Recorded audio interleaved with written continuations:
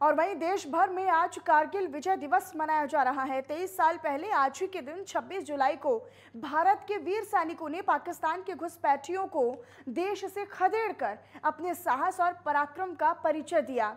वहीं इस मौके पर लखनऊ में कारगिल शहीद स्मृति वाटिका में कारगिल विजय दिवस के खास अवसर पर कार्यक्रम का आयोजन किया गया। सीएम योगी आदित्यनाथ ने कार्यक्रम में हिस्सा लेकर शहीदों को श्रद्धांजलि अर्पित की। और ये तस्वीरें भी आपको दिखा रहे हैं जब सीएम योगी आदित्यनाथ यहाँ पर पहुँचे इस कार्यक्रम का हिस्सा होने के लिए। कारगिल शौर्य पराक्रम दिवस आज मनाया जा रहा है। कारगिल विजय दिवस के मौके पर यहाँ पर नमन करते हुए, श्रद्धांजलि अर्पित करते हुए सीएम योगी आदित्यनाथ नज़र आ रही हैं। तो कारगिल के वीरों को सीएम योगी आदित्यनाथ ने नमन किया, याद किया, उनके किए गए कार्यों को याद किया। तो देश आज कारगिल के शहीदों को याद कर रहा है। और ये जो कार्यक्रम लखनऊ में रखा गया था, इसमें शिरकत करने के लिए सीएम योगी आदित्यनाथ समेत तमाम जो बीजेपी के बड़े दिग्गज कैबिनेट मंत्री हैं, वो भी पहुँचे। सुरेश खन्ना को भी आप तस्वीरों में देख रहे हैं। तो कारगिल शहीद स्मृति वाटिका में कार्यक्रम का आयोजन रखा गया था, जिसमें मुख्यमंत्री योगी आदित्यनाथ पुष्पांजलि अर्पित करते हुए, श्रद्धांजलि अर्पित करते हुए नज़र आए। और ये देखिए तस्वीरें भी आपको दिखा रहे हैं। उस वक्त की तेईस साल आज बीत चुके हैं और तेईस साल पहले पाकिस्तानी जो घुसपैठिए थे उनको खदेड़ कर देश से बाहर किया था शहीद जिसमें हुए थे। पूर्व मुख्यमंत्री डॉक्टर दिनेश शर्मा जी। प्रदेश सरकार के पूर्व मंत्री और माननीय विधायक श्री आशुतोष टंडन जी मान्य विधायक श्री नीरज वोरा जी मान्य विधायक श्री योगेश शुक्ला जी मान्य विधायक श्री रविदास मेहत्रा जी, विधान परिषद के मान्य सदस्य श्री अविनेश सिंह जी, श्री मुकेश शर्मा जी, आज के इस कार्यक्रम में उपस्थित कारगिल विजय भारत माता के जिन महान सपूतों के सर्वोच्च बलिदान के कारण प्राप्त हुआ था, उनके परिवार के सभी सम्मानित सदस्यगण और उपस्थित भाइयों बहनों आज पूरा देश कारगिल विजय दिवस का आयोजन कर रहा है और इस अवसर पर भारत माता के उन सभी महान सपूतों के प्रति नमन करते हुए उन्हें अपनी विनम्र श्रद्धांजलि अर्पित कर रहा है, जिन्होंने देश की आज़ादी को अक्षुण्ण रखने के लिए, भारत की एकता और अखंडता को बनाए रखने के लिए अपना सर्वोच्च बलिदान दिया है। कारगिल युद्ध भी स्वतंत्र भारत का एक ऐसा युद्ध है, जो भारत पर पाकिस्तान ने जबरन थोपा था। मई 1999 में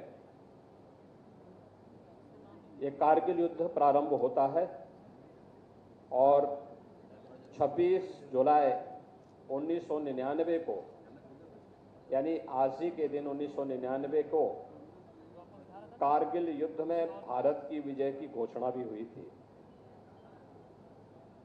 लेकिन इस विजय के साथ ही जहाँ पूरी दुनिया के अंदर पाकिस्तान एक्सपोज हुआ था कि यह कैसे भारत के अंदर घुसपैठ करता है, कैसे इसने भारत पर युद्ध जबरन थोपा है, कैसे पूरी दुनिया के लिए पाकिस्तान अपने आप में एक सिरदर्द बना हुआ है, वही साथ ही साथ भारत के बहादुर जवानों के सौर पराक्रम को एक बार फिर दुनिया ने देखा।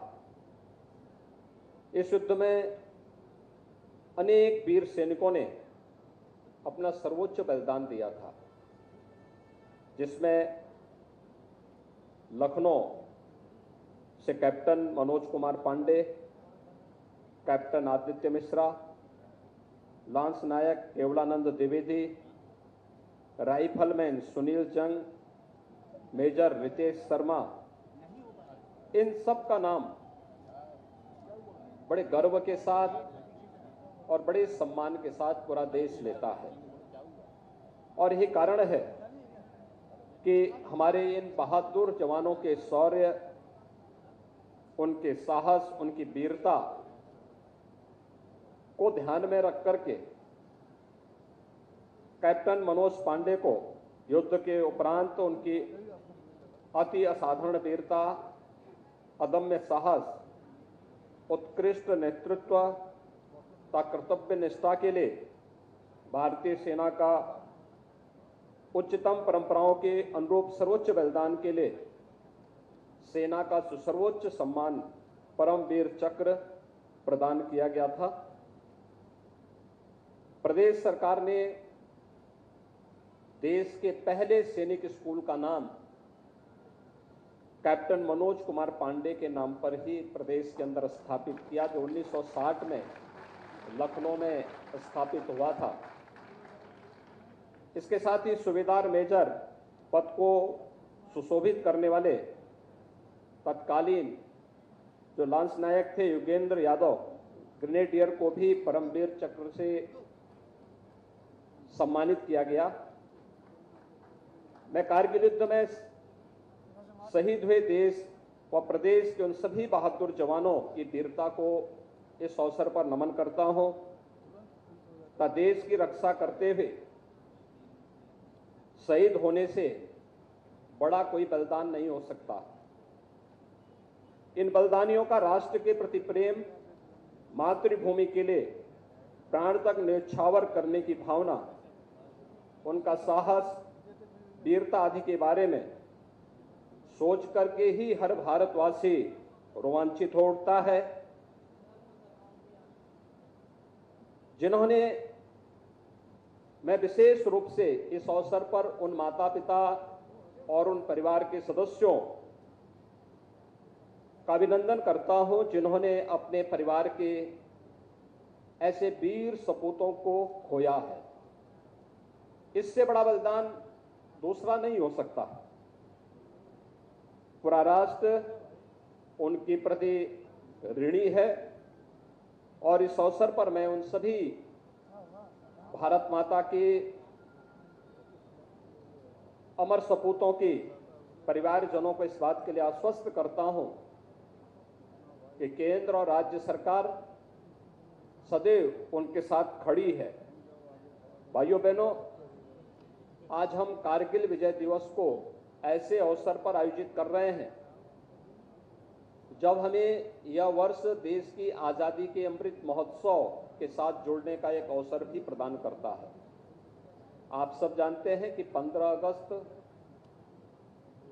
2022 देश की आज़ादी के 75 वर्ष पूर्ण होने का भी एक अवसर है।